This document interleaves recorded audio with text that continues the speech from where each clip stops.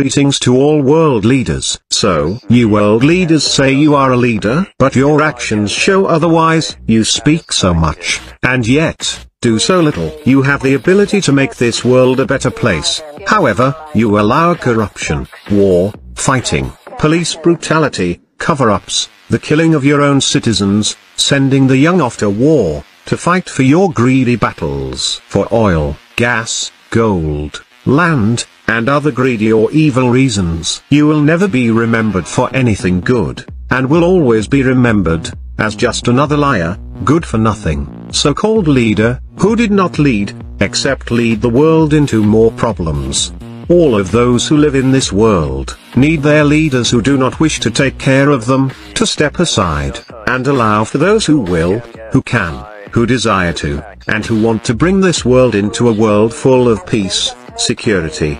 None of you world leaders, really care about the very people, who voted and depended on you, to help them live a normal happy life. None of you care about those in pain, who are sick, the dying, the homeless, the poor, the mentally ill, or any other health problems, it would seem. None of you care about our youth. You all allow the greedy and the rich, to become richer, and untouchable. For now, that is. You all allow big corporations to destroy our earth, and to lie to the people. You all allow big corporations, to make decisions about our earth, that are ruining it, such as with fracking, drilling, GMOs in our food, and those who are contaminating our water and would love to privatize it.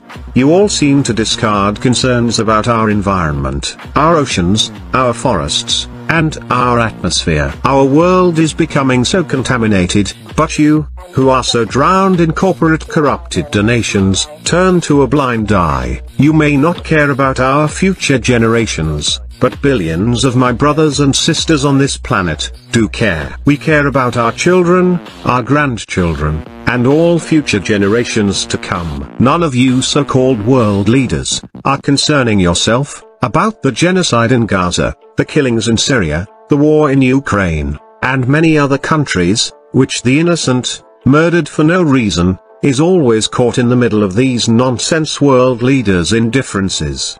You do not care about justice for rape victims. You allow big corporations and big banks, to take away the people's homes because they miss their payments. You do not care about those in power who steal, lie, or commit crimes, because they are in power, and have the ability, the money, to hide their actions, or threaten their victims, and families.